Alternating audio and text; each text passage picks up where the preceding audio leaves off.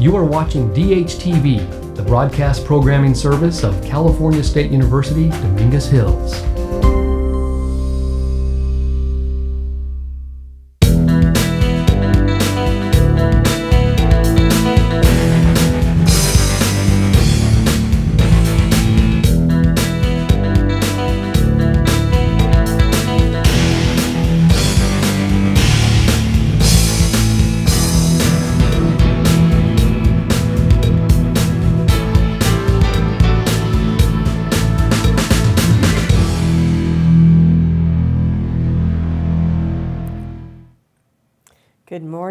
And welcome to Health Science 300, Health in Public Education, here at Cal State Dominguez Hills.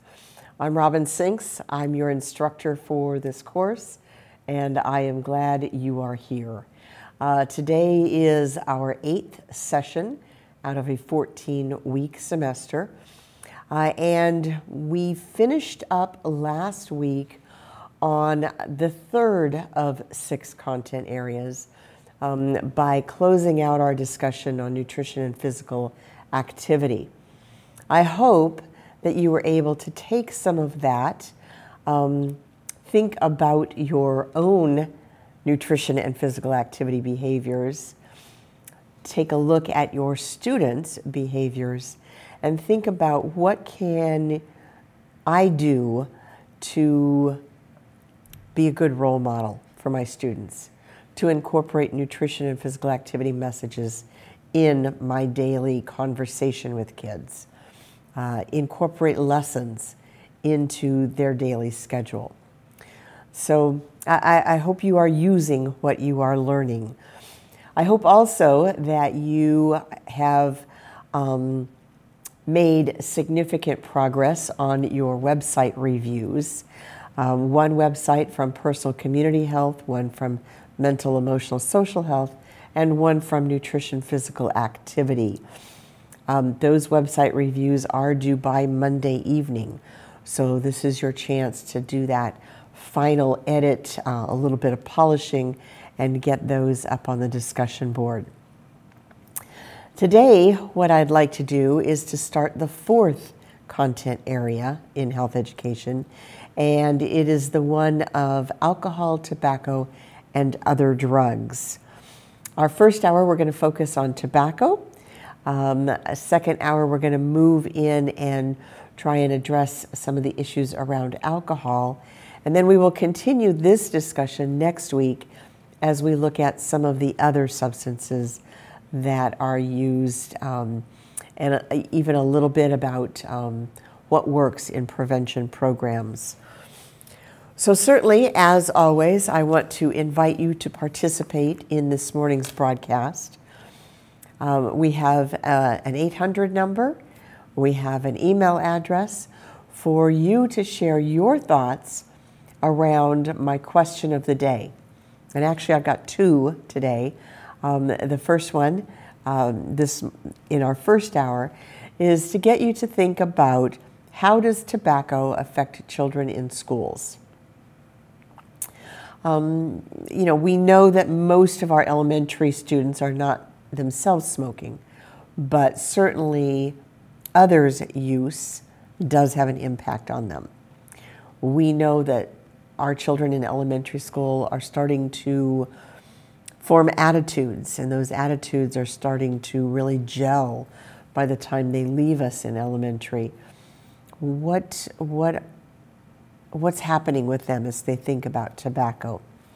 Um, so certainly I would like to hear from as many of you uh, as would like to participate.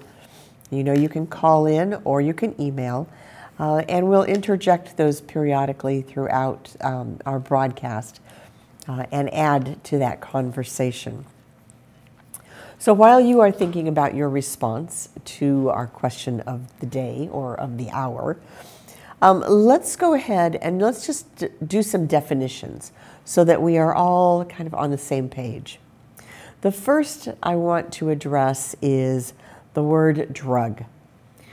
When you hear that term, we think of lots of different images, lots of different words come to mind. And I, and I want you to think about it in context of the following. A drug is any substance that changes the function of the body. Any substance. So it can be over the counter medications, it can be prescription medications, it can be coffee, uh, the caffeine in that coffee, uh, the caffeine in the chocolates, the teas, etc. It can also include alcohol, tobacco, the illegal substances, herbs, and of course the volatile chemicals like paints and glues.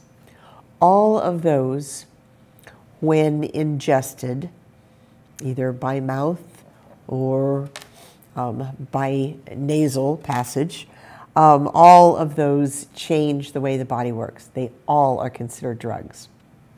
Now, how many of you thought about your morning coffee being your morning drug? We tend to classify drugs um, as those that are acceptable and maybe those that are a little less acceptable, but they are all drugs. When we talk about drug use, we are talking about the general implication of the legal use of legal drugs. So, drinking coffee, drug use. Uh, an adult drinking alcohol, an adult using tobacco. Though that is legal use of a legal substance. M using medications, whether over the counter or prescription, as directed for a legitimate medical reason. That is all drug use. So, where do we get into drug misuse? That is the unintentional or inappropriate use of medication. So, we're not complying with direction. If one makes us feel better, two has got to help us even more, right? We don't want to go down that path. Um, sometimes we do that unintentionally, sometimes it is intentional, but it is inappropriate use. We're not complying with the medication directions. That's a misuse. Also, any illegal use of legal drugs. So, drinking alcohol to the point that our blood alcohol level or blood alcohol concentration exceeds that which is legal um, to drive, uh, which is legal to operate machinery. So, that is all misuse. Now, where do we get into drug abuse? Drug abuse is the chronic or excessive use of a drug. Uh, it can also refer to intent to use. we're, we're typically talking about illegal use. So, can we have chronic excessive use of prescription medications? Certainly. Uh, can we use a legal drug like alcohol, with the intent to use it illegally. Just going to drink until we are just bombed. Yes, uh, that is abuse. Um, using illegal drugs in any way is drug abuse. So when you hear people use these terms, I, I just want you to think about that. And, and I start off this morning with those definitions because the two topics that I want to address today, tobacco and alcohol, are, are not really considered drugs by many. Uh, it's like, well, they're not that bad. Well, it doesn't do that much to us. Um, so I, I just want to set that stage that yes, what we are talking about today are drugs. So let's take a look at tobacco specifically. Um, we know that tobacco use is costly. There is um, certainly an impact of that use on society as well as on the individual. Tobacco is addictive and is responsible for one out of five deaths in the United States. One out of five. Use of tobacco products is the single most preventable cause of death in the United States today. Just think about that. How many people would not be impacted or their health not impacted if we didn't use tobacco? What would that do to the death rate in this country? Certainly bring it down. Um, but it, is used. And um, while it is the single most preventable cause of death in the country, we know that there are plenty of young tobacco users joining the ranks uh, and continuing that cycle. Every day, almost 4,000 students or 4,000 children under the age of 18 try their first cigarette. Almost 4,000. Almost 3,000 of those 4,000 actually begin regular smoking.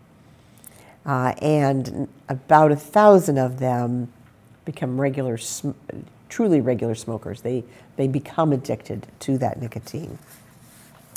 Um, so we certainly see that cycle of use, disease, death being replenished by young smokers. And tobacco use really does start early. If we could bring this graphic up closer up front. Um, this is what is, um, it's a cumulative percent um, of tobacco use. So that uh, dark blue, 16% start smoking by the age of 18. By 14, cumulatively, we've got, we've got about 37%. By 16, over 60% of um, tobacco users have begun. And by age 18, 90%. So 90% of adult tobacco users started before the age of 18. That's somewhat significant in the fact that until just recently, um, the legal age to begin tobacco use was 18. So we've got 90% of adult users starting before it's legal to do so. Um, we certainly have an issue with youth using, getting into that habit, and then starting that cycle of disease, disability, and death. Um, so it does make an impact. There's another graphic, I think, that will come up. There we go. And this um, really shows some of the uh, prevalence of use across the country. Um, that top graph or that top map uh, really looks at um, smoking use. So you'll see there on the west side of the country, Alaska and Nevada, heavy use and then toward the south and east, what we call the tobacco belt. Um, a lot of tobacco grown and processed in those states. That bottom map is smokeless tobacco use. A little bit different. Uh, we, we get several additional states joining uh, and a few dropping out. But um, so tobacco use by type may be more of a regional issue. And then, of course, as we talk about deaths, here's a quick chart for you on annual deaths among smokers attributed to those smoking related diseases. Most of us think about lung cancer when we think about smoking related death. Uh, but look at heart disease, chronic obstructive pulmonary disease, if we don't have lung cancer, we may end up with another lung disease. There are other cancers linked to tobacco use. And then, of course, stroke. Those are the ones we think most often about. So, significant impact because most of those diseases, being chronic illness, an individual has to deal with, has to cope with, has to manage for several years um, impacting the quality of their life prior to death. All right, so certainly some rationale for not starting, I think.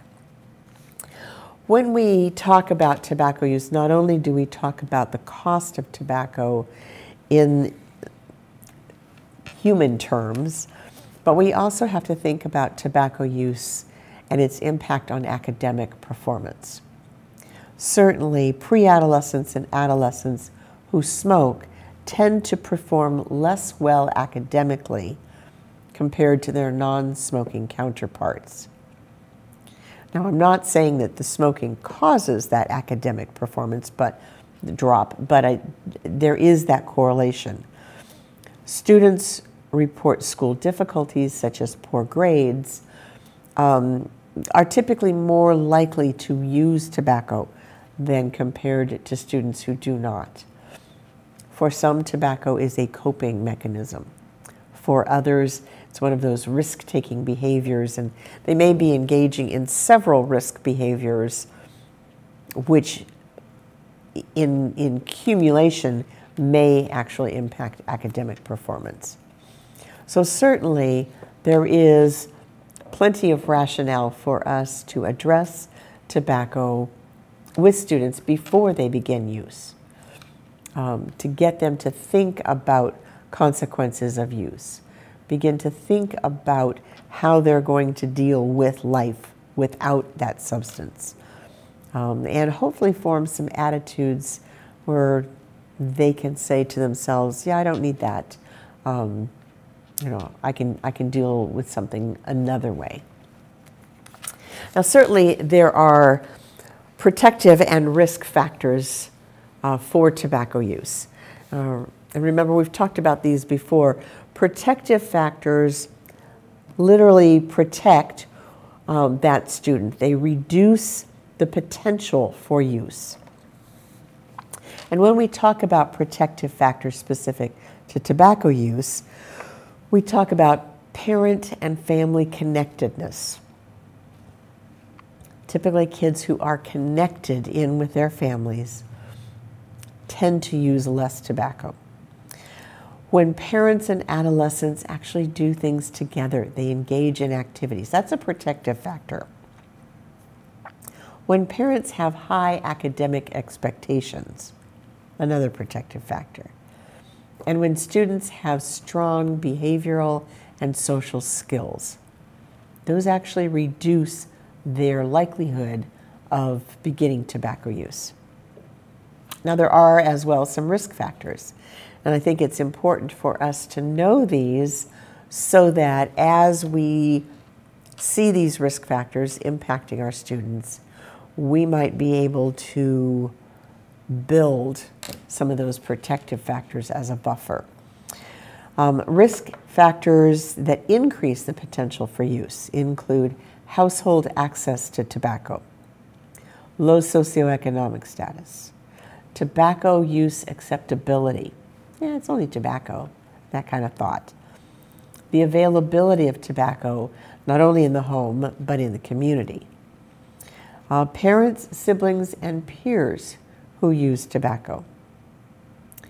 Other risk taking behaviors, rebelliousness, other, quote, deviant behavior. And then negative behavioral and social skills. And another risk factor are, uh, is the body image concern, because smoking is often seen as a way to uh, control calorie consumption. And for students who have body image issues, that may be a reason to use. Okay, so if we see those risk factors, we know that that doesn't mean that having any of those, that student will definitely become a tobacco user, but certainly it increases the potential for use. And so there are some things that we can do to address those as well as building those protective factors and really supporting kids, helping them feel connected, helping them achieve academically, building their social skills. Tobacco use is such uh, is behavior such that folks recognize that schools really do play a role in all of this as far as prevention. So back several years ago, the Surgeon General created uh, some recommendations for schools to prevent tobacco use and addiction. Um, develop and enforce school policies on tobacco use. You know, I remember starting my tenure in a school district when we had very few rules about tobacco use. there was a teacher's lounge where you could use tobacco on campus. Uh, it was common to see uh, parents and construction workers on campus using tobacco. We now have moved into an age, actually for many years, um, where we have a no use policy by anyone on any grounds. We also know that one of the recommendations is to provide instruction about short and long term consequences of tobacco use. Because we still battle with this um, concept that, oh, it's only tobacco, it's not that bad, we really do want students to understand the effects of tobacco. Uh, and do so in a kindergarten through high school curriculum. So, really addressing the issue across several developmental stages. Certainly, if we're going to do that, we have to provide program specific training for teachers. How do we talk about tobacco in our classrooms? What curricular resources do we have available at this school to use? Um, if we're going to involve teachers, we also want to include parents and families and have them support school based programs. And then, as a final recommendation, the Surgeon General also uh, listed to support cessation efforts among students and staff who use tobacco. So, for those who've started, you know, we want to help them quit. Um, the shorter the term of use, the more success with they quit. If you've been a lifelong tobacco user, it's much more difficult to quit because of that addictability of the tobacco. All right, so that's just a little bit about some risk and protective factors and some recommendations for what we should do in schools. And I think I might have a couple of comments. So let me just take a break here to um, go back to our question of the hour. Um, how does tobacco use affect students? And um, I know I see Yvette and Tashima are both with us already. Glad to have you both here. Uh, let's see, Yvette says when students use tobacco, they tend to perform less well academically, more likely to earn those D's and F's in school. And, and that's for a variety of, of factors there, Yvette. Thank you for sharing. Uh, Shima I'm glad you are here this morning. Uh, Tashima shares that it increases a child's risk for asthma. I have a few students whose parents smoke. You can smell that smoke on their clothes. Uh, there is one child who has asthma. Parents smoke around her. And so during nap time, we're seeing lots of coughing and wheezing because of it. Um, it there certainly is an impact on the non smokers uh, in families where there are individuals who smoke. And uh, we'll talk a little bit more about that as we progress through our hour this morning. Thanks so much for sharing. The rest of you, there's the question of the hour. If you'd like to give a response, go ahead and either call in or email, uh, and we'll take another break to get your comments in just a little bit. So, in the meantime, I'm going to go ahead and go on and just provide you a little bit of background information on tobacco.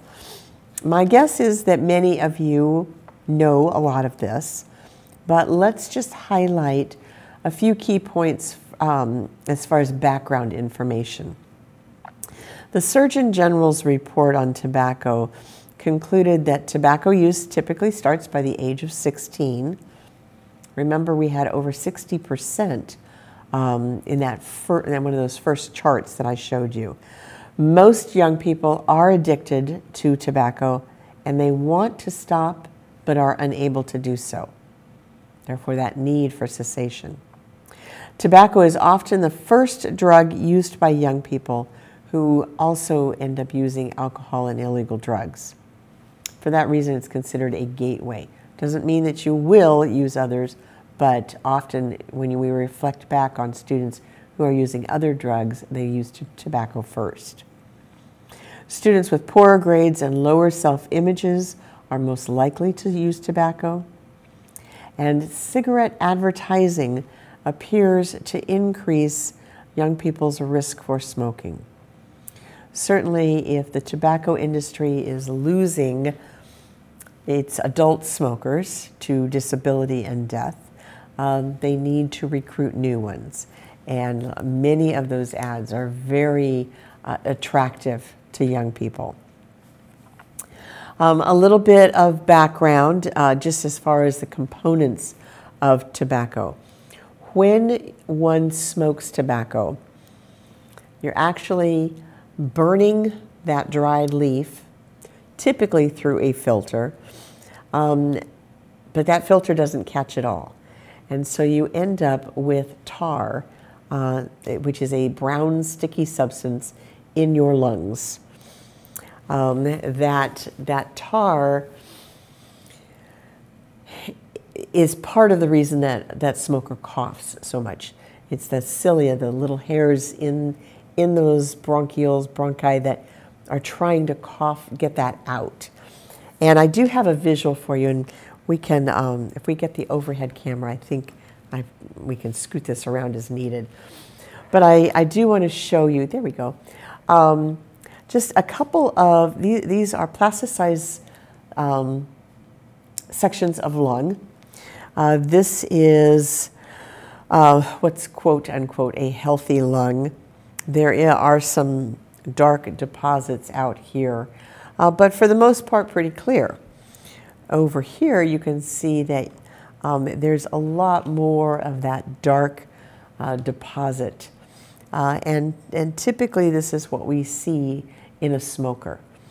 Uh, that tar while they're trying to cough a lot of it out, you know, does accumulate in this. Uh, and that diminishes lung functioning. So that's how we end up with some of the lung diseases that, that we've identified. Okay, so just a good visual for what lungs probably should look like and what we want to avoid there. Okay, um, another component of tobacco products that we certainly need to understand is nicotine. Nicotine is the addictive part of tobacco, highly addictive. Okay, that is the substance that uh, keeps that smoker continuing to smoke, that need for that rush. Third component that is in uh, smoking uh, we, we see in smokers um, is carbon monoxide. Carbon monoxide is the most harmful component of tobacco smoke. And most of you know that carbon monoxide uh, does not aid in um, that oxygenation of blood. It actually blocks some of that. Um, so certainly that's the most harmful with the nicotine being the most addictive part. But now, not all people smoke tobacco. There are those who um, use tobacco products in a uh, smokeless or spit manner. Uh, there are those folks who chew tobacco, um, and this is leaves that are cut up, typically mixed with molasses or other sweeteners, put in the mouth, uh, and then the picture behind me is actually those very finely cut tobacco leaves, uh, and that's what we call dipping.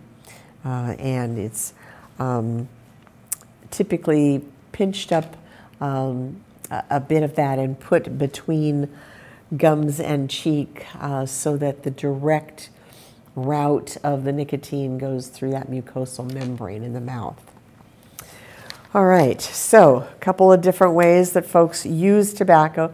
Let's take a quick um, a, a look at a video clip that gives a little bit of history of tobacco use, and then we end up talking about the fact that smokeless is not harmless.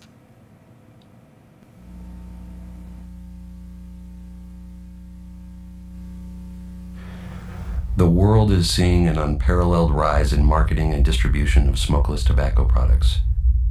This is how it began. At the turn of the century, fledgling tobacco companies used the beginnings of advertising to sell a product, smokeless tobacco, otherwise known as snuff or chew. Swept from the floors of cigarette factories, this loose leaf tobacco made its way into the hands of Americans. With names like Little Katie, Climax, and Carolina Belle, women were often depicted in ads carrying home pails of snuff. They used a feminine touch to sell a product. As its popularity grew, so did its packaging. Placing it in containers such as lunch boxes, tin cans, and tubes made it more alluring to the public. They even went so far as showing children enjoying a chew. With key phrases like sun cured, it didn't take long for the idea of smokeless tobacco to stick as a reward for a hard day's work. They even used the Sultan of SWAT, Babe Ruth himself, to pinch hit for their product. With the allure of freedom, ruggedness, and the great outdoors, Many brands use the backdrop of Western ideology to increase sales among potential consumers. It worked. By showing people hunting, fishing, and playing sports, the deceptive practitioners of the marketing machine learned how to reach people of every nationality and gender. They no longer relied on the addictive nature of tobacco to sell products, but instead struck at the basic fiber of human nature the ego. With terms such as bolder, stronger, and tougher, the industry uses psychology to combat scientific truth about smokeless tobacco. From Venezuela to India, Sweden, and beyond, the far reaching arm of global marketing has transcended any possible level of constraint and shows no signs of slowing down.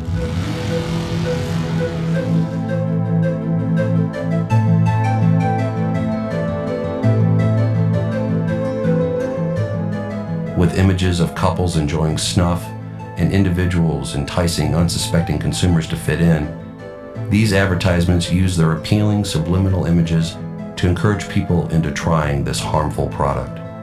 Using repeated words like super amari and excellent snuff, worldwide consumers become trapped in the glamorous quality of this deadly product. Now the tobacco industry is using a double-edged sword in marketing smokeless tobacco is being portrayed as an alternative to cigarette smoking. They entice you to have a pinch when you can't smoke.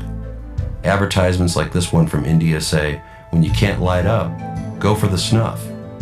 Frequently, ads are becoming more and more conducive to this type of marketing. These concepts are relatively new, but by adding the phrases, when you can't smoke, serves two purposes. Now they can mention their smokeless tobacco and their cigarettes in the same breath. This type of advertising is more deadly than the original. There's an all-out advertising blitz, placing their products on race cars, lawn chairs, baseball caps, t-shirts, keychains, coins, and numerous other products. But the real truth behind smokeless tobacco is hidden. From the first warning signs of cancer to the devastating health effects it causes, those individuals whose lives have been touched by smokeless tobacco will never be the same. Some of them have paid the ultimate price, their own lives. These images show the real truth behind smokeless tobacco. The devastation this product causes has brought the world to a boiling point. No longer can we sit back and watch life after life be ruined. It leaves a trail of cancer and sickness wherever it goes.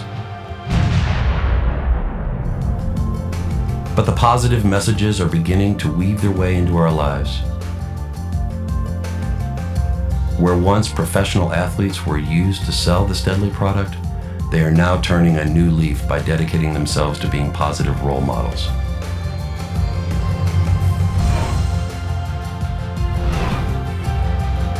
Let's work together to send a message that today's youth are no longer going to be targets of the marketing machine. Remember, that smokeless does not mean harmless. All right, and certainly smokeless tobacco is often touted as a safe alternative to smoking, and certainly, as you saw, it is not. Um, so, I've, got, I've thrown out a question of the hour, and I've got a few more responses. So let's go ahead and take those now. Um, Lois, good morning. Lois works with preschool students um, and is concerned that exposure to secondhand smoke um, can end up with developing health problems such as respiratory asthma, ear infections, etc. And certainly um, a, a, risk. Excuse me, Maribel, good morning. Uh, Maribel um, sees tobacco use affecting children in school through their physical activities. Um, they seem to tire easily, easily and engage in less activity. Interesting observation. And then Elsie, um, some children who see their parents using tobacco will think about trying it or even starting using it themselves. I saw a five year old student pretending to smoke a cigarette while playing with her classmates during recess. She thought it was cool, said her dad smokes. Very much that modeling behavior is sent some powerful messages. All right, thank you to the three of you for those comments. All right, so let's um, let's do a little bit of a review just with this tobacco issue. Um, certainly, we've talked about smokeless. Um, in smoking, we do want to recognize that there are different ways that folks smoke tobacco. Um, most commonly, we are familiar with the cigarettes. Cigars and pipes um, are not as prominent uh, as the cigarette. The cigarette is pretty much, uh, you see it in grocery stores, gas stations, convenience stores, etc. There are folks who do smoke cigars. Uh, those are typically unfiltered uh, use of tobacco so that accumulation of tar is probably a little bit greater um, with cigars, uh, as well as pipes. Now here uh, in this region, uh, I don't see as many pipe smokers as I do, and typically that may also be an age factor. Um, another way that we see folks smoking tobacco are through hookah. Uh, and actually, I'm going to come back and talk a little bit about hookah and, and show you a video clip because that seems to be one of the ways that um, is kind of on the rise, uh, particularly with young people. So we certainly know we can use tobacco in several ways. Bottom line, short-term effects of tobacco use.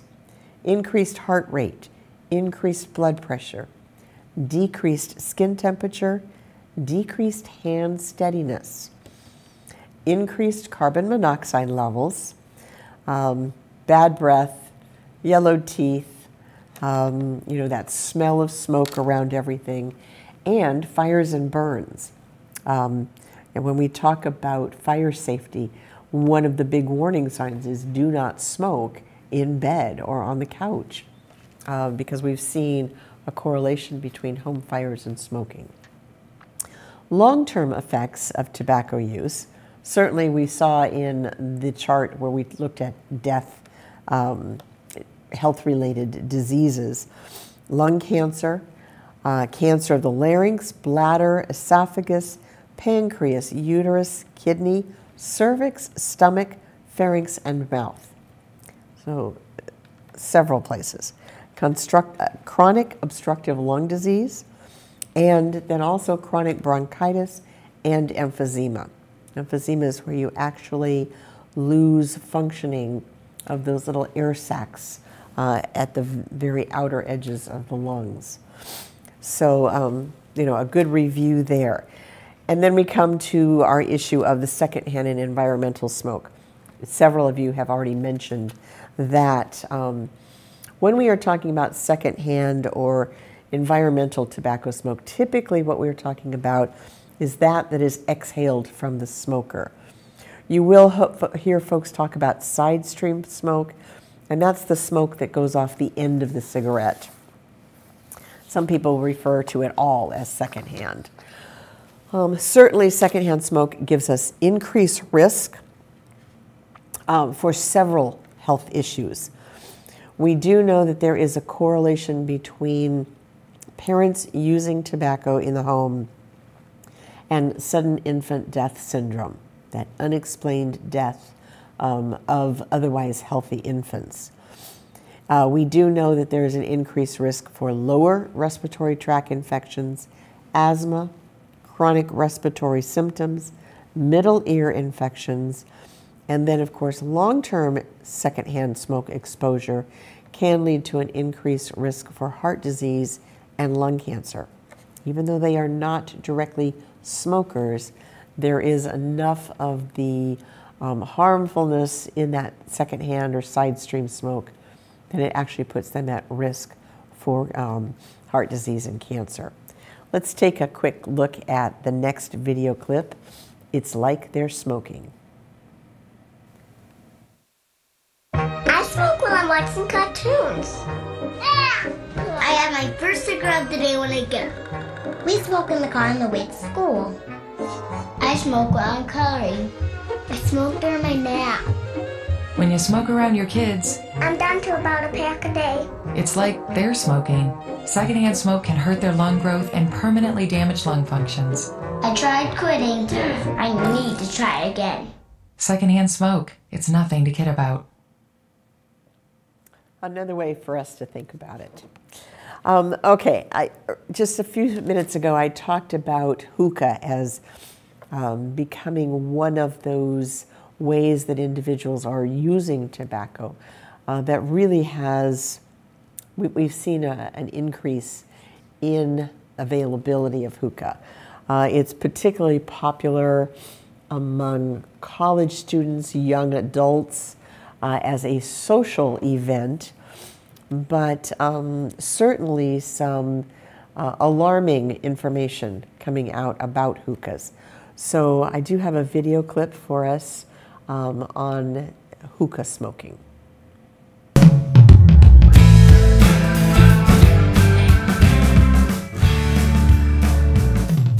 Hookah, it's a very old tradition of uh, smoking tobacco, but the concern is that it's becoming more and more popular now um, across the world, especially um, in young adults and teens, and including in the United States of America. The teens feel this is a novel way to socialize and to embrace multiculturalism.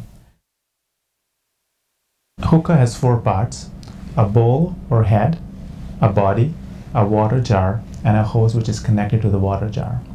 The tobacco is placed in the head, which is separated by coal by a tin foil or a metal screen. When a person inhales, the air gets sucked in into the head, gets heated by the charcoal.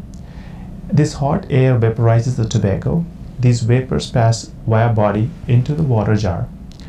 And as these vapors pass through the water, they lose their heat and get collected on the top of the water jar. And this is the place where the hose is connected. So when a person inhales, these vapors get sucked in into the lung, changing the pressure of the water jar, and this change in pressure pulls more air through the head, and this is how the whole process continues. There is a myth that it is safer and it is less addictive, both of which are incorrect. It is as harmful as cigarettes and maybe more harmful in certain ways, and it is as addictive. It can cause lung cancer, bladder cancer, oral cancers. It increases the risk of um, stroke and heart disease. Since it has been used in a group and people use the same mouthpiece, there is a risk of diseases which, which can be transmitted between each other, like tuberculosis, herpes, hepatitis. What people have found that this is a gateway to cigarette smoking.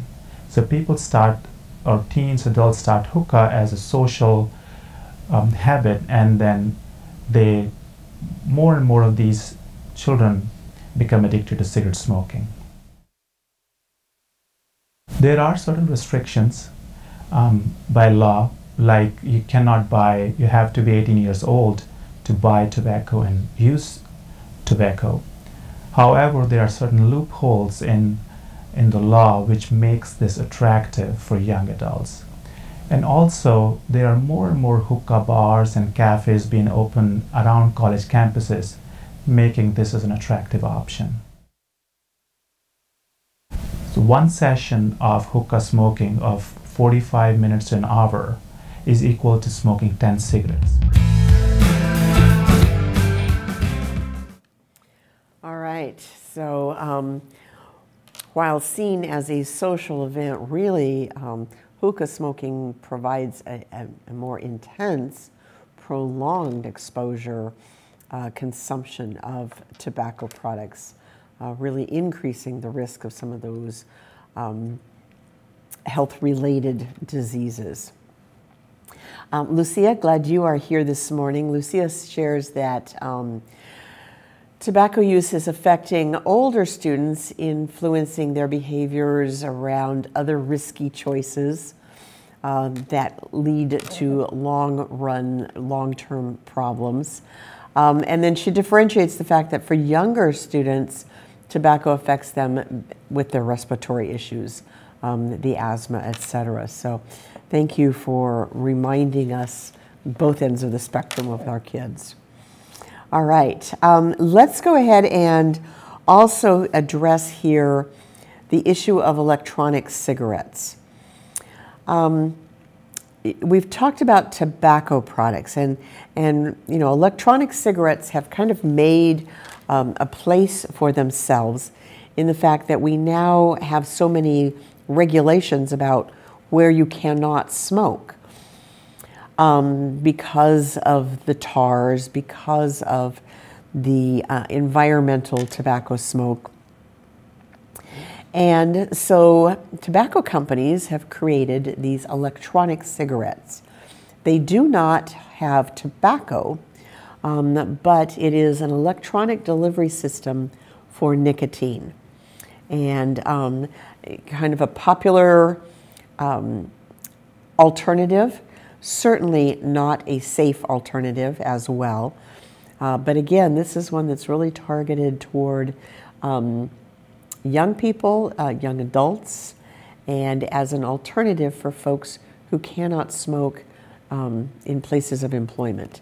So let's watch a video clip um, to see are electronic cigarettes dangerous? It is time now for morning rounds. Joining us are CBS News chief medical correspondent Dr. Jon LaPook and CBS News contributor Dr. Holly Phillips. Today we're marking the anniversary of a major landmark in medical history. It was exactly 50 years ago that the U.S. Surgeon General released the first report linking smoking to cancer. CBS News correspondent Harry Reasoner filed this report back in 1964. In the history of the world, no non-essential habit ever got so entrenched so fast. 70 million Americans smoke. Today they got a message from the United States Surgeon General, who has had a blue ribbon committee studying their habit for 14 months. It is the judgment of the committee that cigarette smoking contributes substantially to mortality from certain specific diseases and to the overall death rate. John, that report was a real blockbuster, of course. Give us a sense of what the impact was. I remember so well when that came out. I was in sixth grade, and back in the 50s and 60s, everybody and their mother was smoking. And trusted Americans, our own um, Edward R. Murrow with the cigarette in his hand smoking on television. And then you had famous people who everybody admired, like Audrey Hepburn in, in who can forget it in Breakfast at Tiffany's, that long cigarette holder. Right. So uh, back it was glamorized, right? It was very much glamorized. And then in 1965, about 42% of American adults smoked, and that's dropped to about 18%. But still today, about 44 million Americans still smoke. That's 440,000 deaths a year, and more than a dozen cancers that we know of that are caused by it. So we still have a long way to go. So, Holly, I want to ask you in that 1964 report set off a lot of public health and policy decisions. How did that actually make it harder for people to smoke? Was it a financial disincentive? Right, you know, it was just an overall public policy, public health awareness campaign. And you know, when you think about it, back in 1964, there were no restrictions on where you could smoke at all. You could smoke in a hospital, on an airplane, you could pretty much light up anywhere, which is hard to imagine nowadays. There are 26 states that ban smoking completely in all public spaces, and a lot of cities do, uh, do as well. And one of the primary objectives there is to cut down on secondhand smoke. And it's actually worked. You know, the amount of a chemical that we measure in people's blood to see if they've been exposed to secondhand smoke um, has dropped in half. So that has really protected not just smokers, hoping to get them to quit, but also people around them. And there are actually even more laws that, that are going to come into effect soon. There's in New York City, which has been very aggressive in, in combating smoking, has a law that's going to go into effect in March that will ban sales to people under 21. Yeah. Uh, do, do we need more laws, and and do they actually work? Well, Anthony, uh, the age restriction on purchasing cigarettes as sort of one of the last frontiers when we think about um, health policy and, and, and anti-smoking campaigns. It's important to point out most people get addicted really young, before the age of 18 and often, often, or by the age of 21. So if we can make it a little more difficult for people to get the cigarettes before the age of 21, they're less likely to get hooked, and then we can protect them from smoking for the rest of their lives. 90% of smoking starts before age 21. Yeah, so it's, it's a huge amount. If we can just get people to hold off, it's likely that they won't start at all. Right. That's a fascinating number. We are seeing a backlash against restrictions on smoking, and part of that is aggressive marketing of a new way to smoke e cigarettes. Take a look. I'm Stephen Dorff. I've been a smoker for 20 years, and I just found the smarter alternative Blue e cigs. Blue lets me enjoy smoking without it affecting the people around me because it's vapor, not tobacco smoke. That means no ash, and best of all, no offensive odor. With Blue, you can smoke at a basketball game if you want to. And how about not having to go outside every 10 minutes when you're in a bar with your friends? The point is, you can smoke Blue virtually anywhere. We're all adults here. It's time we take our freedom back. What exactly is an e-cigarette? E-cigarette, electronic cigarette. It's it's liquid that has nicotine, some flavoring, and some other chemicals, and it's heated up with a battery into a vapor, and it, you get the, the rush of the nicotine. The problem is it's not FDA approved or regulated. We really don't know everything that's in it. We don't know enough research in terms of the long-term risks. I spoke to Tom Frieden, Dr. Tom Frieden, who's the head of the CDC. He is very much concerned. Back in 2009, they did an analysis of two leading brands, and there were a bunch of very potentially dangerous chemicals inside. So what are the potential dangers of all this? We don't know, and yet it's now being marketed as the new cool. You're mentioning marketing. Holly, I did a whole story on e-cigarettes, and the thing I found most fascinating is I interviewed a girl who was 18 who told me she started smoking them at 12, and that a lot of her friends were switching over to e-cigarettes. It seems like some of the marketing is maybe unintentionally attracting younger kids. Yeah, very much so. When I look at that that, that commercial, which it just it looks great, Stephen Dorff couldn't possibly look better. It's like Marlboro Man Take Two, right? um, he definitely looks cool, and I think that that's part of the marketing campaign to make it look cool, to make it appeal to young people. And e-cigarettes themselves can be appealing to young people. They even come in flavors. Uh, you know, there's bubblegum and chocolate. Uh, there are different colors smoke that you can blow out. It's not really smoke, but vapor, I should say. Um, so it is targeting young people, and that's concerning. We don't really know the long-term effects. And it's working, the marketing. The use Yeah. among middle schoolers and high schoolers doubled from 2011 to 2012. And the last CDC estimate is almost 2 million of those kids have tried an e-cigarette. Now, at the start of a new year, you undoubtedly have so many people saying, I want to quit. What are the doctor recommended, or are there any, to quit, Holly? What should people do? You know, it- one of the good things is that Obamacare is going to support uh, more efforts to, to quit. It'll pay for some smoking cessation programs. Um, and with my patients, I say by any means necessary, right? When people are interested in using uh, alternative things, like whether it's uh, acupuncture or meditation, uh, there are a lot of internet support groups. I say, you know, whatever it is that you think might work for you, go ahead and do it. But it really is, you have to be ready to quit.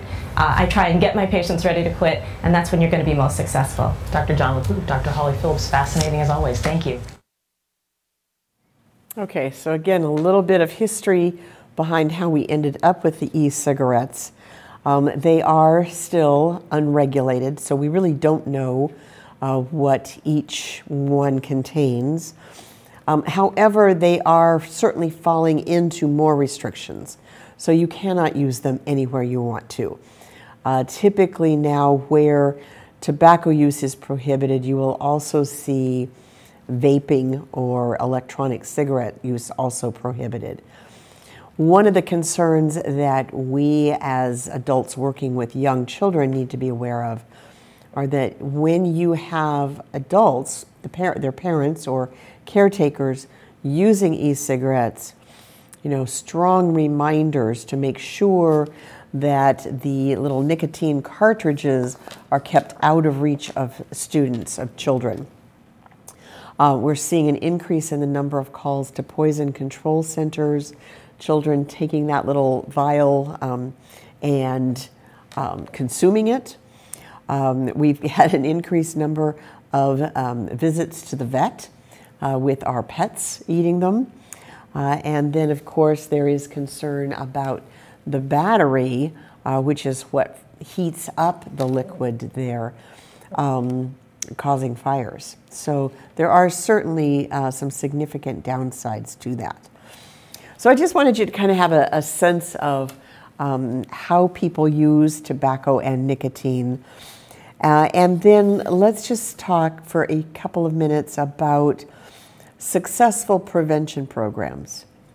If we in schools are going to spend some time addressing the issue, what, what can we do to um, enhance our, our efforts?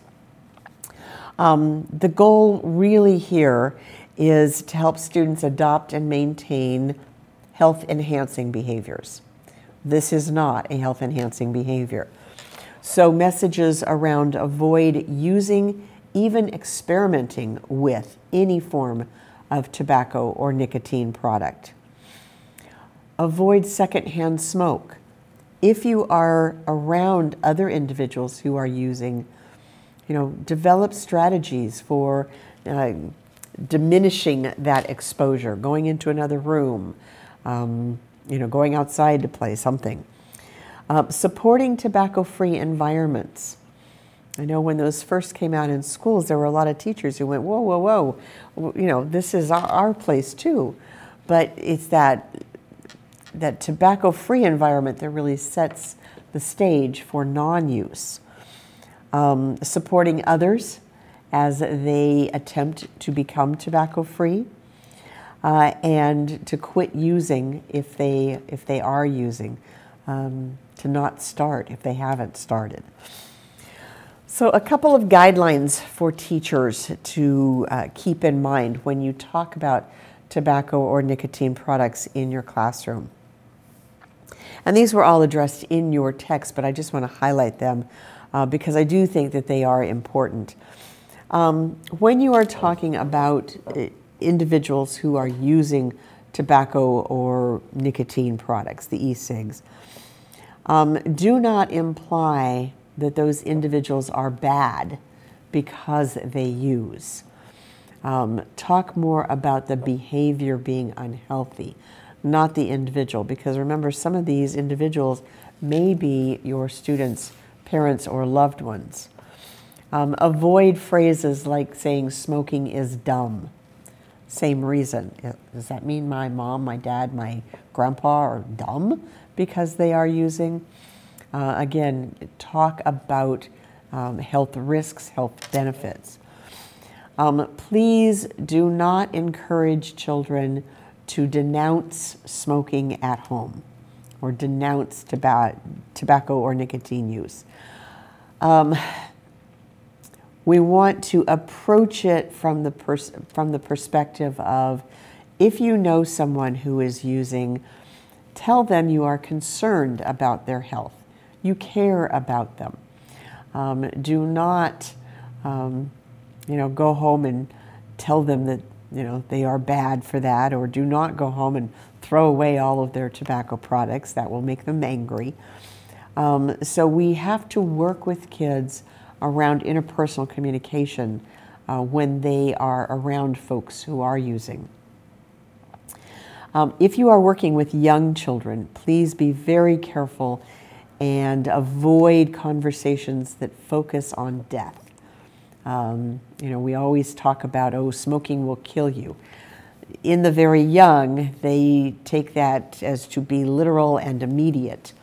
Um, so, very young kids may start crying right there in front of you because they envision their loved one dying before they get home. Um, so, we have to, again, balance that with the unhealthy short term effects. Um, when you are talking with older students, there's also that issue of death that frequently comes up. Um, we tell older kids that they will die earlier. They'll die sooner if they uh, use tobacco. And for almost every time we say that to someone, they can give you two or three examples of very elderly people who smoked all their life and are still healthy. So it's not an absolute. And then, of course, as teachers, we want to avoid giving mixed messages. So if you are using tobacco products or nicotine products, consider quitting yourself uh, because while you may be telling students not to use, they will smell it on you, they may see you, uh, and those are certainly mixed messages we want to avoid. So, kind of think about that as you think about how you're going to talk about tobacco use. I do want to acknowledge that Jacqueline is with us as well this morning. And um, Jacqueline shares as a person diagnosed with asthma herself, she understands the negative effects of secondhand smoking and how it becomes a trigger for some with asthma. Uh, and that's an important thing to recognize is, as, is the smoking may not cause the asthma, but it certainly is a trigger for those who have, um, who have asthma um, and have been diagnosed with such. So be, be very aware of that in your own students. Okay, well, we are at a point where um, I've tried to give you a little bit of background on tobacco and talk a little bit about what that looks like um, when you have conversations with students. So we're going to take a 10 minute break. Hope you use this for some healthy behaviors. When we come back, we are going to address alcohol, um, background information, and use. So I will see you in 10. You are watching DHTV, the broadcast programming service of California State University, Dominguez Hills.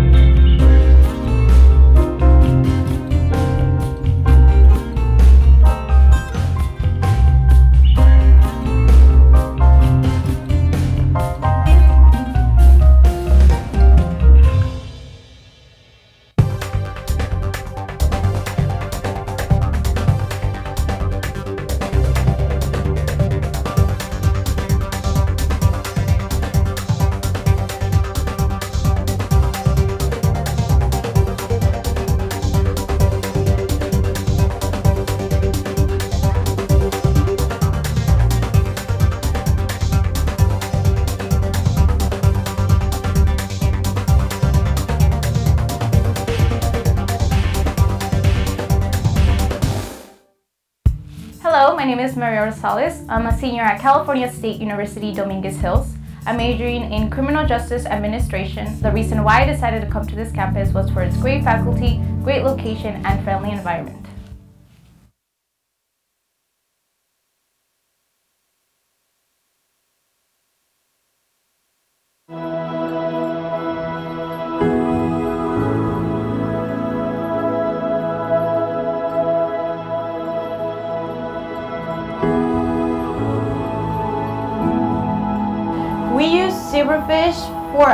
Experiments because their DNA is actually very similar to humans' DNA. So it's a direct comparison and a direct use from our experiments with zebrafish to finding something later on to be helpful for humans. It's important for undergrads to experience research because it teaches you way more than what you learn in a class.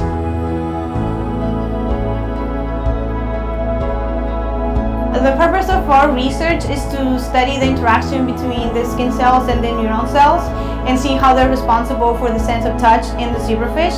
Eventually we can relate it to humans and see when a person has lost their sense of touch to see if those neurons can regenerate and then, you know, give them back their sense of touch.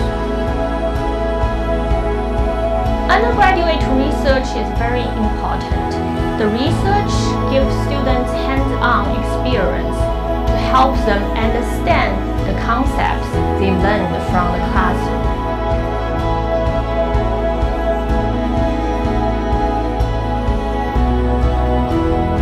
It's very exciting. You're generating something nobody has discovered before.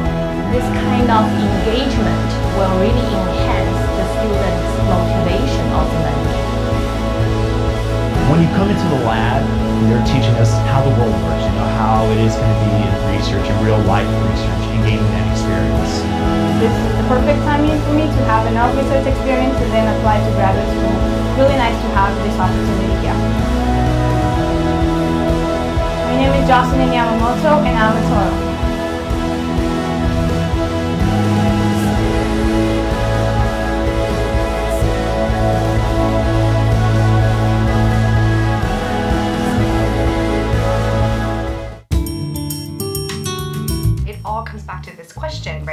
How do we define humanity? One of the ultimate uh, sets of values that the humanities program could bring to the future students is is really lifelong learning tools that are just applicable in so many ways.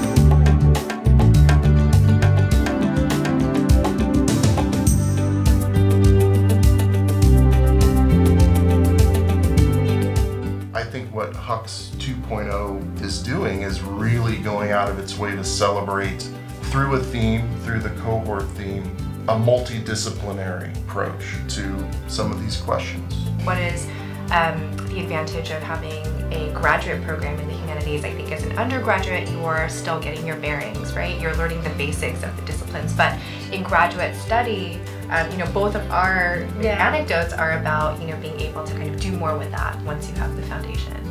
You can think of these courses not so much as just the, the core that everybody has to go through, but instead think of it, this is the basis for you to expand, for you to explore the things that you find interesting. But you will have a, a connection with the other students so that you can have some sort of um, starting point for those conversations to continue. Technology enables, you know, involvement through Skype and FaceTime and uh, the, the idea of a symposium and having a physical presence on campus at the end of the program really ties things up very well, yet shouldn't scare anyone away because there's all sorts of potential for involvement through through the technology. Being part of a cohort doesn't mean you're just sitting in front of your computer in your bedroom. You're actually part of a of a group, and that I think that's what the experience will be: is the cohort experience. benefits of this model involves the faculty mm-hmm. because we can be closer to one another mm-hmm. and we're going through the cohort thing with the students so there's a nice continuity for us. The theme, thematic approach, and building through a, you know, a fairly tight structure of courses towards a culmination in this- in the symposium allows us to really program not just our own individual classes, but think together about how we're programming a course of study. all kinds of career choices that uh, future Hux students will choose, uh, I think there's a well-roundedness that the humanities disciplines bring to that ongoing process that never seems quite finalized because it can't be. Well, I think uh, we are excited about this, uh, and and I hope you caught a little bit of our excitement. Um, we hope you can join us if uh, this is the kind of program that you find interesting, and uh, we look forward to working with you this fall and on through the uh, the terms, the five terms of uh, this program.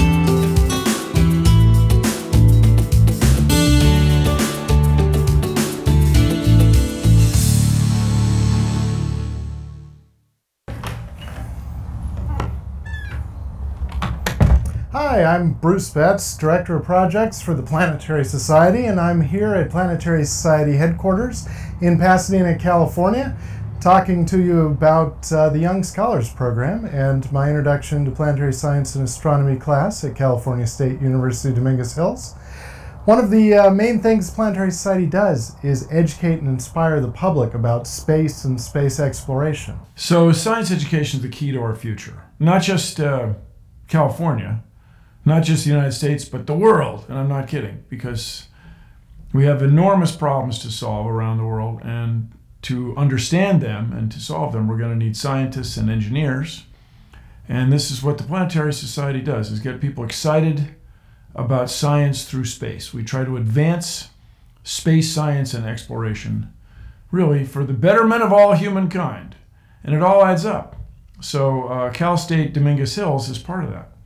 I've been a guest at the Cal State Dominguez Hills distance learning classes and been able to talk about my research on Venus and Mars, but also on all of the really cool research that's being done on planets all over the solar system by the active missions that are out there right now. I think that it's uh, it's really fun to be able to share the adventure of exploring the solar system um, with audience with all different kinds of people um, coming from all different places, whether they're adults or kids, uh, current students, or people who were last students a long time ago. In the case of this class, to be able to actually not only reach out to new audiences, but provide detail information and really share what is an inherently visual type of science, planetary science, with TV. At Cal State Dominguez Hills, like at any university, our primary mission is to educate students. Through the Young Scholars Program, we at CSUDH are partnering with the Planetary Society to get high school students from around the state of California interested in science and careers in science even before they enter college. In so doing, we stay involved with our local community and make opportunities available to these students that they might not otherwise get. So uh, Cal State Dominguez Hills is part of that.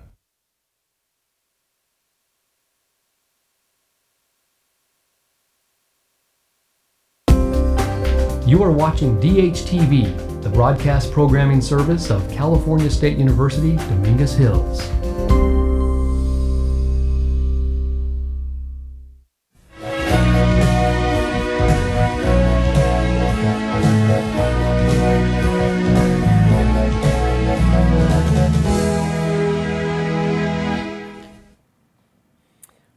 Right, welcome back to our second hour of our two hour broadcast for Health Science 300 Health and Public Education. Um, I'm glad you are joining me this morning. Our first hour, we talked a lot about tobacco, its impact on health and academics, and what we as teachers need to know and then do with that information. This, the remaining time I have with you this morning, I really want to focus on alcohol. And I know on Blackboard I said I wasn't going to talk about this until next week. So if you haven't read that chapter, it's okay. Uh, just sit back, listen, and then as you read it, um, absorb and, and, make those connections. Um, certainly, um, if you have not had a chance to participate in this morning's broadcast, I want to throw out a new question. Um, how does alcohol use and abuse affect children in schools? So we, we looked earlier at how tobacco affects kids. So are there differences with alcohol? What do you see there? So if you'd like to um, participate in that discussion, please give me a call or send me an email and we will include your comments uh, in our remaining time together this morning.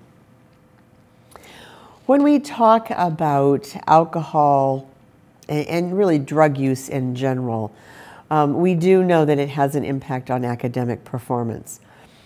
With alcohol, we know that studies have shown that heavy alcohol use by adolescents may actually interfere with brain activity and development and can lead to memory loss and the diminishment of other mental functioning. Um, so certainly a um, a long term connection um, that can be seen quite quickly with that heavy use. The Youth Risk Behavior Survey, which is a national survey of students about health behaviors, shows that students with higher grades are significantly less likely to be engaged in behaviors such as current alcohol use, binge drinking, drinking before the age of 13, uh, and even current marijuana use. Uh, so, again, we do see that correlation with use and diminished academics. So, when we look at risk and protective factors around alcohol, what, how can we approach all of this? Um, and here, I, I really want to focus on um, identifying some more of these risk factors because I think as we identify the risk factors, you can think of, okay, what can I do in my position to address some of that? Um, and we're actually going to look at risk factors in different um, environments. So the first one are, are, those risk factors associated with school. Certainly, we, we have an impact there. Um, academic failure. This one should scream at each of us because certainly one of the strongest indicators um, of the potential for uh, alcohol and other substance use. So when our students are struggling in school, certainly we as educators are spending a lot of time working with them to help them overcome some of those difficulties. We need to think about certainly ensuring their success academically, but if we do not address some of their academic needs, that may actually put them at significant risk for substance abuse issues. Um, the other school risk factor is little commitment to school. Really try to engage your students and help them bond to school. Create that social emotional environment where they feel safe and cared about and a part of. There are some individual or peer risk factors. Um, rebelliousness is one of those, antisocial behavior in early adolescence, and friends who use substances. That one is probably the strongest predictor of use. You hang around with people who are using, they are your friends, you are bonded, connected to them. That is, um, that should be another red flag, one of those flashing light ones. We do know that favorable attitudes around drug use put, a, put an individual at risk and early first use. That's why we try to do so much intervention around attitudes and around avoiding early use. There are some family risk factors, and this is maybe some things that we might be able to do to connect families with other resources in the community. A family history of alcoholism, family management difficulties, favorable parental attitudes toward alcohol and drug use, and then family conflict. So do keep in mind when you are working with a student, you have to think and have to consider family issues as well. And then there are some things that happen in the community that actually put kids at risk for substance abuse, economic and social deprivation, high transition and mobility. So whether we don't have a, a, the ability to connect in a community because they're frequently moving, uh, actually puts families at risk. Uh, community laws and norms that are favorable to, to drug use. Uh, if you have a community where there's strong enforcement, you tend to change some of the behaviors more in that direction. Availability of alcohol and other drugs. If it's available, it's more likely to be used. So those are just some risk factors kind of in general to think about with specifically alcohol, but also can be very applicable to other drugs as well. All right, let's talk about just a little bit of background information about alcohol. As a drug, alcohol is a depressant It slows everything down. You may feel that it gives you a little energy at that party, but really what it's doing is it's diminishing or depressing inhibitions. And that's what, you know, causes folks to become more relaxed and then more social. But it, it is a depressant. There are three primary types of alcohol that we see in use uh, beer, wine, and distilled spirits. On page 347, you actually see a little chart that shows some of the alcohol equivalencies. one 12 ounce beer, one five ounce glass of wine, and one one and a half ounce shot of 80 proof distilled liquor is all the same amount of alcohol. Um, folks say, oh, well, the liquor is stronger alcohol. Well, it's not, it doesn't have any more alcohol, but it has less water. So the concentration is stronger. Therefore, when you have less fluid in there, you're going to see more of a, an immediate effect of the drug on the body and in, that depressant manner. Alcohol is the most commonly abused substance during adolescent. This is typically an adolescent's drug of choice. Typically easy to get to, uh, socially much more acceptable than tobacco and other drugs. Uh, often uh, it's part of the social scene with them. Um, do be very aware that alcohol use among adolescents and adults is associated with vehicle crashes, fighting, crime, depression, suicide, and other injuries, falls, burns, even drowning. Uh, so we do know that it has a significant impact. Let's um, watch a quick video on some of those damaging effects of alcohol.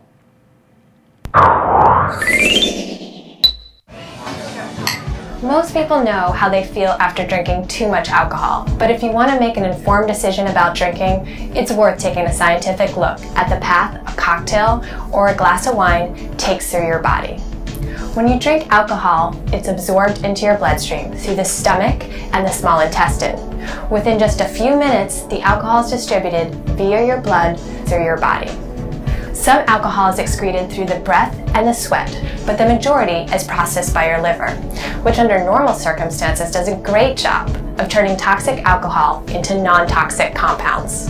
Heavy drinking, such as several drinks a night on a regular basis, really taxes the body's system, especially the liver, and can lead to serious health problems, including insomnia, weight gain, sexual difficulties, and liver disease, just to name a few.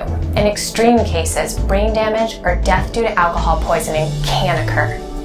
Here are a few simple tips to help you minimize the effects of alcohol. Eat something before you even start drinking, and while you're drinking, have some snacks. Be sure to pace yourself with a glass of water or juice in between each drink.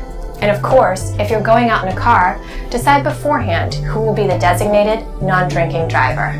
I'm Dr. Natasha. Live well. All right, so that message was for adults, um, talking about damaging effects of alcohol, but also how to manage drinking behaviors if you choose to drink. Uh, obviously, we are not talking with those, those kinds of issues with our students because until you are 21, you are not uh, legally allowed to drink. Um, but we, we do talk with kids about the effects of alcohol. And as they become drivers, we want them to understand particularly the concept of blood alcohol concentration.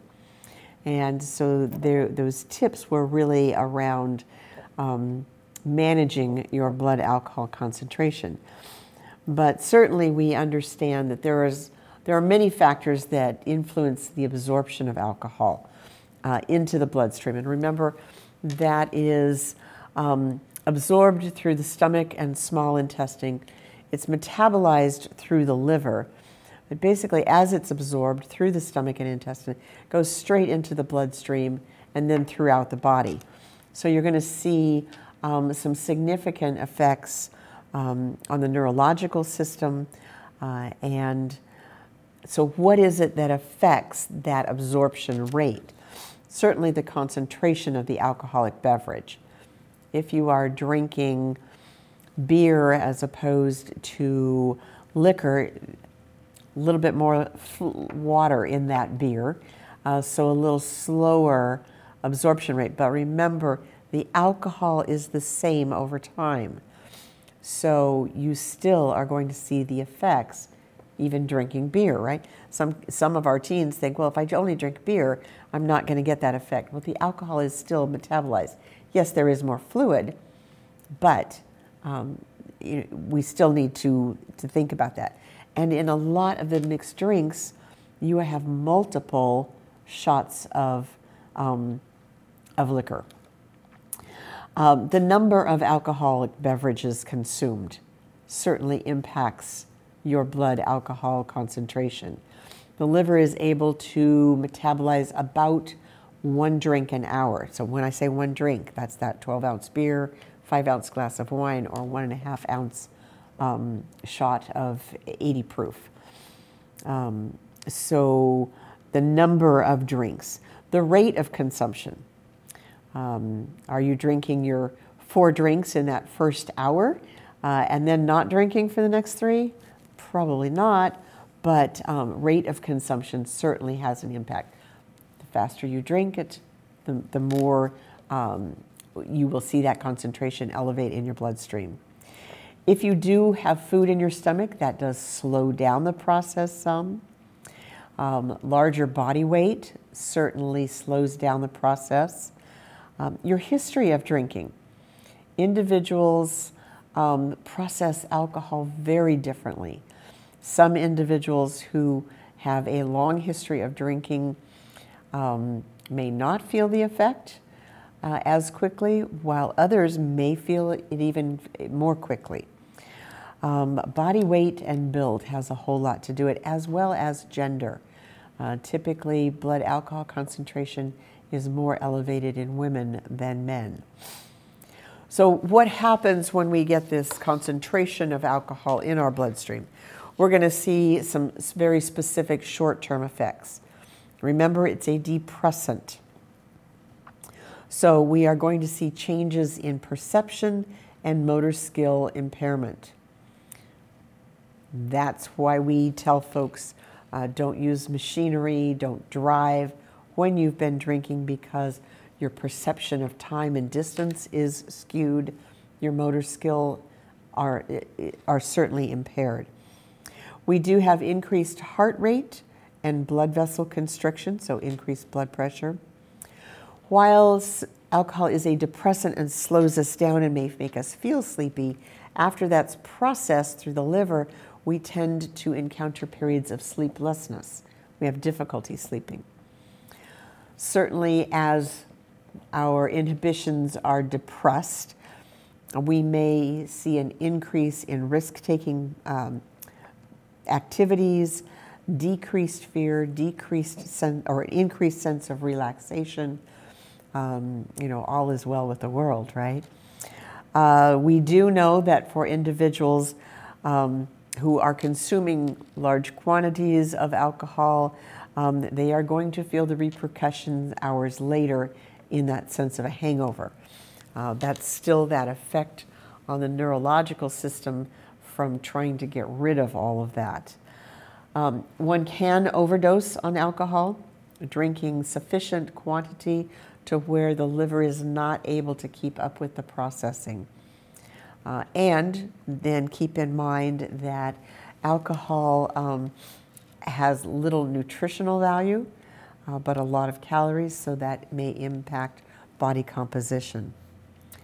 Now, certainly, there are some long term effects that we need to be aware of uh, hepatitis and cirrhosis of the liver.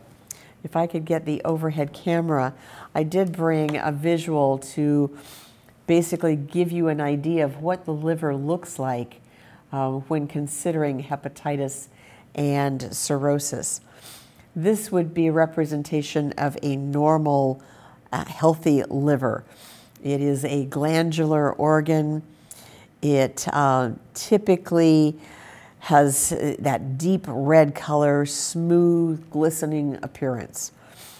Hepatitis is an inflammation of the liver. Um, we see that inflammation caused by viruses. Um, oftentimes we'll talk about an infection uh, causing hepatitis, but chemicals also uh, cause that inflammation, including alcohol. And so it, the liver becomes inflamed, it's swollen. Um, and chronic hepatitis leads to a lot of, uh, of, of health related issues. Cirrhosis is um, one of the top 10 leading causes of death in this country.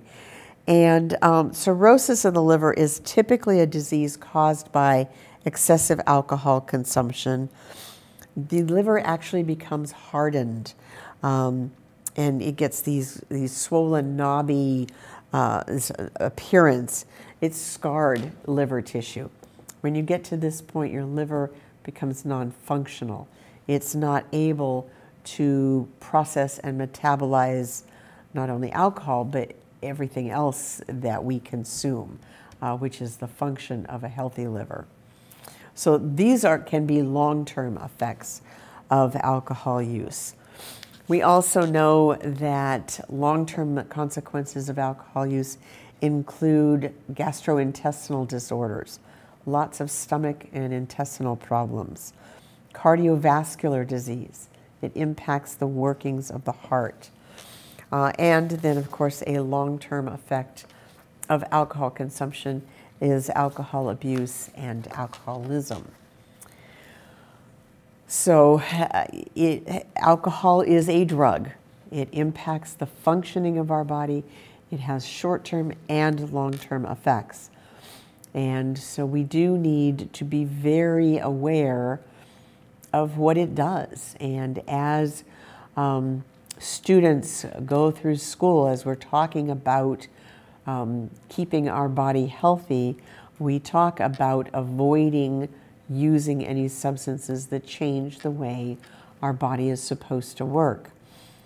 Um, without, with adolescents, we also need to talk about the social situations in which alcohol may be used um, helping students understand potential risk. Uh, going to a party where there is no adult supervision increases the risk for possible alcohol and other drug use at the party. Um, and oftentimes, when alcohol uh, is being used by adolescents, they are consuming large quantities of it in a very short time frame binge drinking. So I have a video clip for you um, now just to address particularly the issue of girls and binge drinking because a lot of us don't think about that one. So let's see this video clip. We did it you know the saying, every parent's nightmare? Get out of the fast lane! Welcome to the Nightmare in Overdrive. Going about 90 down I-5. Holly was a teenage binge drinker. On this night, she's barreling down the highway after a few too many drinks. I'm gonna vomit. I'm not proud of the drinking and the driving. I think it's so stupid. I think it's so stupid. And yet, that's what alcohol does to you. Yeah, it's poison. Holly's exploits are featured in the documentary Faded, which offers a sobering message for unsuspecting parents. According to surveys, one in every four teen girls don't just drink, they binge, meaning five or more drinks in one sitting. Surveys say that 90% of parents say, oh no, not my, my kids. They're ignorant. I, well, okay. I think denial is extremely powerful. I think a lot of parents don't want to believe anything negative about their kids. Rebecca Thomas had no clue the extent to which her daughter Erin was secretly binge drinking. One night she wound up at a party with older boys she didn't know that well. So I thought, I'll just take a couple drinks. I'll relax. I'll get to know these people. But then that turned into, you know, I'll take another shot and I'll take another shot of this. So, how many drinks do you think you consumed that evening? About four beers and uh, I want to say 10 to 13 shots. 10 to 13 shots on top of that? Yes. How did you stay conscious? I didn't. Rebecca, as you're sitting here listening to this, 14 drinks? I, yeah, this is the first time I'm hearing the whole story, actually. 14 drinks can kill a person. Yeah. Erin then got into a car with her boyfriend, who was pulled over for DUI, and Erin was taken into custody for underage drinking. Her mother got a heart stopping call the officer said, Are you Rebecca Thomas? And is your daughter, you know, Erin Thomas? And I just thought, Oh my gosh, is she dead? I was just panicked. And shocked. Often, binge drinkers aren't the campus misfits. They're just as likely good girls, under enormous pressure, just trying to fit in. Erin says she first began lying to her mother in eighth grade. It was about me wanting to make a decision and knowing that I wasn't going to be able to do anything unless I did it behind her back. You wanted control. Yes. Often, underage bingers secretly pre-game, pounding stomach-turning quantities of alcohol before the school dance or the big game, where alcohol is strictly banned. Shotgunning five beers over a couple hours could be pretty common. Little kids, they don't even like the taste of alcohol. No, they're we just hate it. They're just chugging it. Disgusting. And you're encouraging each other. You're sitting there going, "It's okay, just do it, just do it, just fast, just here," and telling each other tips on how to drink it faster so you don't taste it. Take a look at the hit movie Project X, Hollywood's take on a high school party run amok. Is this big enough to be cool? For girls, alcohol has the added danger of giving them courage to act out sexually and then providing an excuse for the risky behavior the morning after. 80% of teenage pregnancies happen when the girl is drunk. Does that surprise you, that stat? No, that doesn't surprise me. Why? When the girls are drunk and the guy starts to push it to that limit, the alcohol gave you the liquid courage to start, but not to stop. Not only does the alcohol make them more promiscuous, it makes them more vulnerable. Well, yeah, because they they don't choose their partners well. So then we see STDs. That's when we see them being assaulted sexually. Or they pass out and now the males take advantage of them. Shelley Campbell has treated all sorts of ghastly consequences during her 40 years as a trauma nurse at Legacy Emanuel Medical Center. It's about three fourths of the injuries, all injuries, tripping over a, a curb had alcohol on board. Or people heard there was a party, this happens frequently, and show up and they can't get rid of them. And so we got knives pulled, we've got guns pulled, and then we have violence. But beyond getting injured, according to a new study, teen girls are more likely than boys to damage their brains because they weigh less and their livers process alcohol differently. Brain scans show less activity in the areas of memory, spatial awareness, and decision making. How much have you had? Five, seven, eight shots. As the documentary shows, it starts young. How many of you guys care if you damage your brain? Which is why Nurse Shelley visits middle schoolers before puberty and the anxiety that comes with it hits. Once that brain's damaged, it doesn't get better.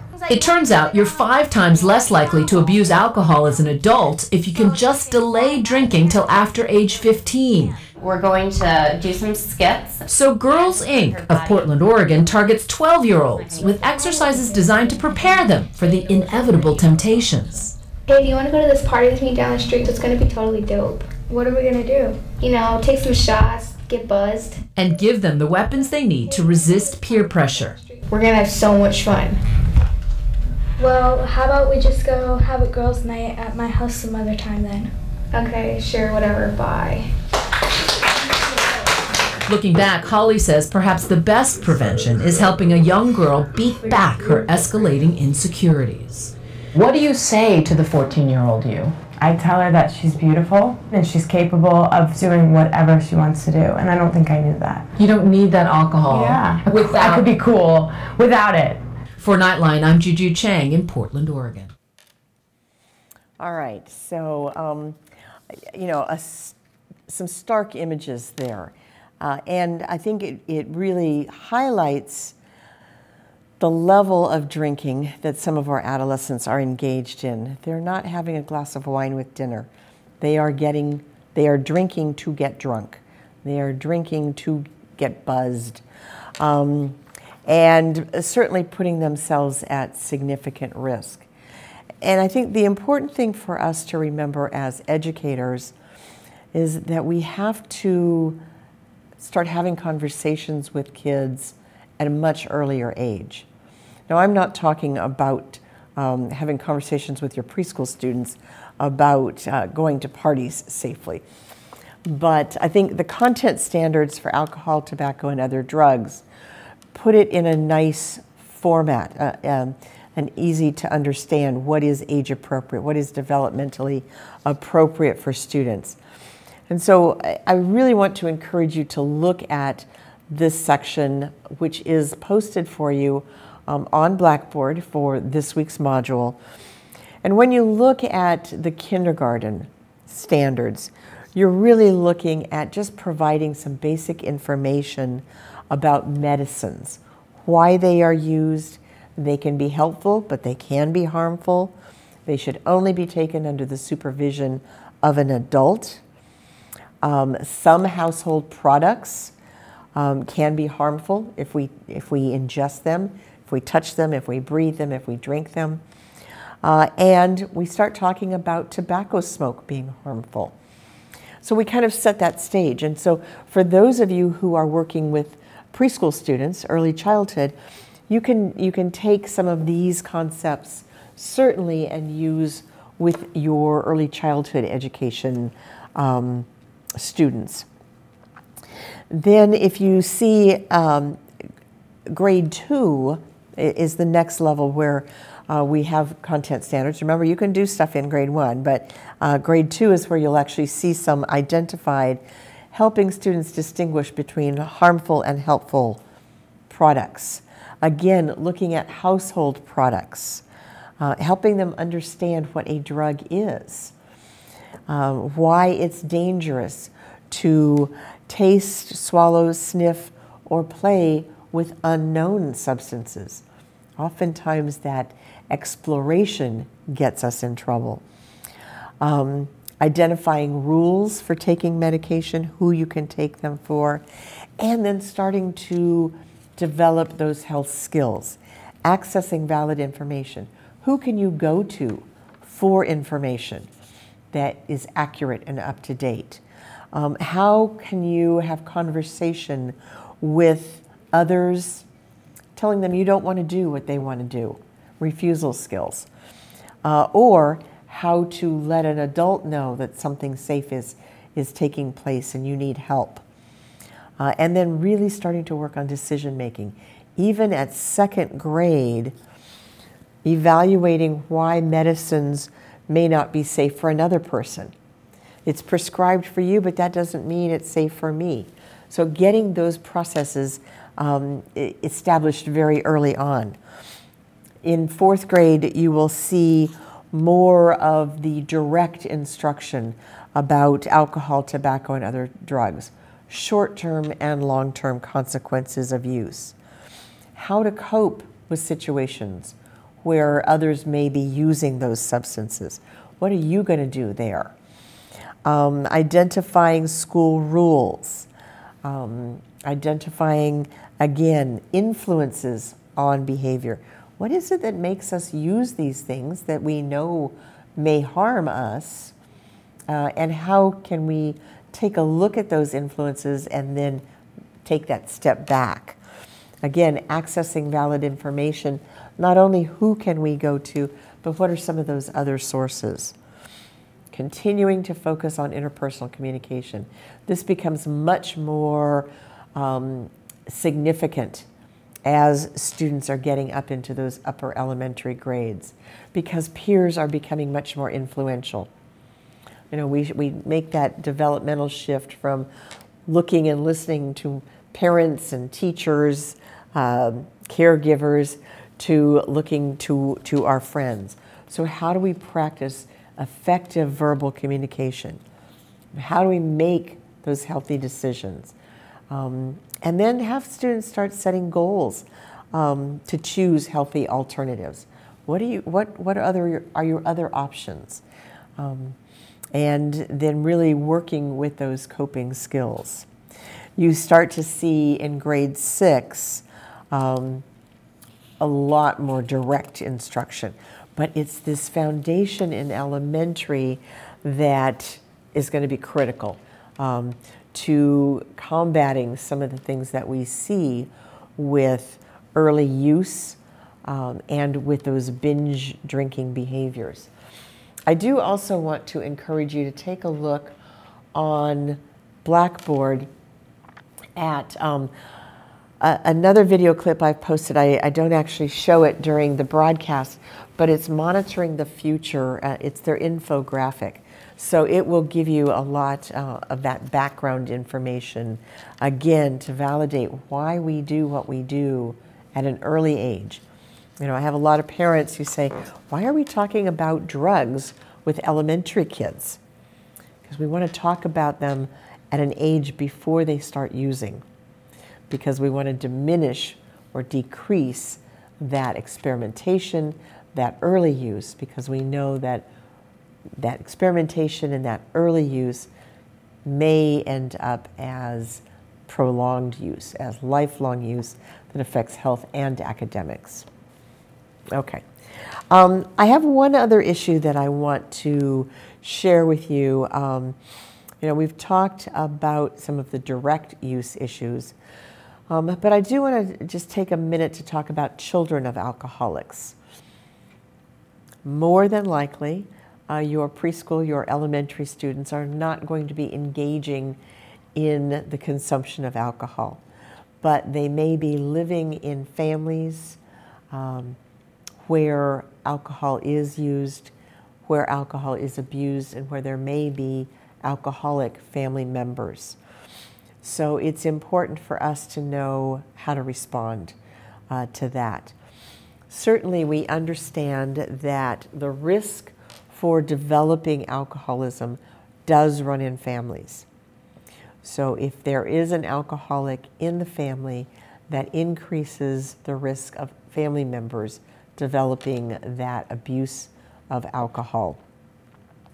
Nearly one out of eight American adult drinkers is an alcoholic or experiences difficulties due to the use of alcohol. One in eight alcohol American adult drinkers. Um, so I, you know, alcohol use among adults is pretty pervasive. Not everyone abuses alcohol. Not everyone has difficulty with it. Um, but what we are so I'm trying to define you know who, who that who that audience is because they will be family members of your students. And alcoholism not only affects the alcoholic, the individual who's consuming alcohol, but it affects the entire family. It changes family dynamics. A child living with a non recovering alcoholic may have a variety of problems. They may feel guilt. They feel that that adult is drinking alcohol because of them. They're bad. They're not um, helping out enough at home. They're not achieving enough in school. So they may be feeling guilty. Children with non recovering alcoholics in their family may feel a great deal of anxiety, not quite sure what to expect, very anxious about going home. Is everything going to be calm and quiet today, or is it going to be a turbulent storm at home? Kids may be very embarrassed when we talk about families um, because they quickly learn that there's something wrong with their family that most family members don't act this way. And they may not want to bring friends home because they're never quite sure what that's going to be like. They may be embarrassed about their family. That embarrassment may actually impair their ability to have close relationships with other people. Kids are really confused about alcoholism because of the ups and downs, the ins and outs. Uh, at one point, the alcoholic is sober and fine. Another moment, they may be sober and angry. Uh, they may be sober and depressed. Uh, when drinking, they may be loving, they may be abusive. Uh, so, so much confusion going on. They may be very angry kids. Um, they are angry because they understand that something's going on and their family is different and they don't want that difference. Um, from anger, they actually may fall into a depression. They don't see a way out uh, for their family, uh, so they get very stuck in that depression. So you may see lots of different things going on with your kids uh, who are living with the non recovering alcoholics. Children of alcoholics benefit when teachers help stu- these students develop autonomy and independence. So, breaking some of that dependence cycle. You can do it. Um, so, we can encourage them to keep trying. We can encourage them to step out um, because sometimes they are very fearful of taking a risk, whether it's the first one to answer a question um, or independence in making new friends. We do need to help them develop strong social skills how to make a friend, how to speak with others, how to ask for something, how to refuse something, um, uh, how to share. Um, so, a lot of social skill development uh, benefits children of alcoholics. Um, help them develop a close bond with you or another adult on campus. Because of the um, fragile environment at home, their inability to have close relationships, sometimes we have to do a little bit more uh, because we do want them to understand that they can have strong relationships with others. Um, they need to learn how to gain positive attention from others. Very often, they may be acting out as a way to get attention um, because they don't understand that there are other ways to do that. We have to help them maintain a positive vision of life. All is not lost. Um, non recovering alcoholics can get help, they can overcome that addiction. Uh, it is a lifelong process, um, and it does not mean that they themselves are, are doomed to those behaviors or to that negativity. Uh, so they've got to see that positivity out there. Uh, and then we have to just help them learn that day to day coping. What do you do when someone is angry? What do you do when someone doesn't talk with you? Um, how, how can you respond? Where, where are some safe places that you can go? Who are safe people to be with? So, day to day coping strategies. So, if you become aware that your children are living in homes with non recovering alcoholics, certainly I'm going to encourage you to talk with your school nurse, your school counselor.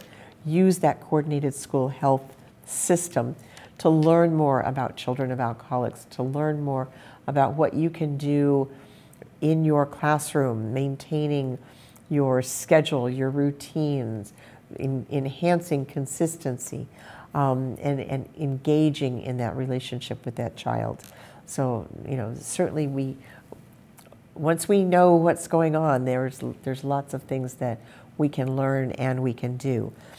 If you don't know what is going on, you know, those are again are conversations. Those are questions we ask in conversation with the school nurse, the counselor, the administrators. What, what do you guys know? If you have a connection, a bond with a parent, ask. Say, I see these behaviors in class. Are you seeing them at home? Is there anything that you can tell me? Opening the door for those conversations. Because certainly living in a family with non recovering alcoholics um, is difficult but it does not mean those behaviors need to be, you know, cyclical. They do not need to be repeated. Uh, we can do a lot of intervention early on. So we do our work with all students in prevention, but with children of alcoholics, we may need to do even some intervention types of work. So I hope that has triggered some thoughts uh, for you about how you will address uh, the topics of tobacco and alcohol in your class. What is age appropriate? Look to the standards. Who can you go to? You know, seek out your school nurse, your school counselor, your administrator. Look at community resources uh, around the school in which you work uh, and draw from that and put all of that in your little bag of tricks uh, as you work with students. Okay, so that brings me to the end of uh, today's broadcast. Excuse me. I have uh, just a few reminders for you. Um, as you all know, Uh, the second exam will be available to you at noon today. That will remain open until 11:59 Monday evening. There are 45 items. You'll have 75 minutes to complete the exam. Uh, there is no backtracking on exams, so you'll want to answer each question. Um, be sure that you've got the response you want before you hit that submit button. In addition to the exam being due by Monday evening, your second discussion board is also due by Monday. Um, this is your website review. I hinted at that earlier this morning. I do hope you have, you know, got a, a good start to that. Um, be sure that you post well before 11:59 p.m. because in addition to your post, you are to read some of your peers' reviews and respond to at least two of them. Make sure that your response is substantial uh, in at least five sentences, uh, highlighting what you learned from their review of websites. What are some similarities, some differences? How might you use some of the information they learned? So you do not have a quiz or journal this week. We'll pick those up next week. And next week, next Saturday, we will continue our discussion of alcohol, tobacco, and other drugs, um, focusing on chapter 12. So, um, in chapter 12, you'll see all of the information about alcohol that I've already addressed. So, we're going to focus on marijuana, some of the issues around that, and the changing availability and perceptions of marijuana. We're going to look at inhalants, uh, some of the over the counter drug issues, other depressants and stimulants, narcotics, and club drugs. Remember, I do this to provide you with a, a strong background um, and so that you can access valid information as issues come up. We're also going to look next week at effective drug prevention strategies um, by contrasting some of the ineffective strategies. You know, we've spent a long history in health education of addressing substance use, and unfortunately, we've done that in some pretty ineffective ways. So I want to highlight those for you so that we do not continue them and look at how we can promote um, and use some effective strategies. Um, also, I do want to remind you that um, we are starting the second half of our semester, and I still have not heard from several of you with your CPR verification. So if you have your CPR certification, please take a picture and email that to me so that I can get you checked off on that co-requisite. If you do not do that by the end of the semester, I am then forced to give you an incomplete in the class, and you still have to do it to get a grade. So go ahead and get that into me soon. All right, so wishing each of you health, peace, and happiness. I'll see you next week.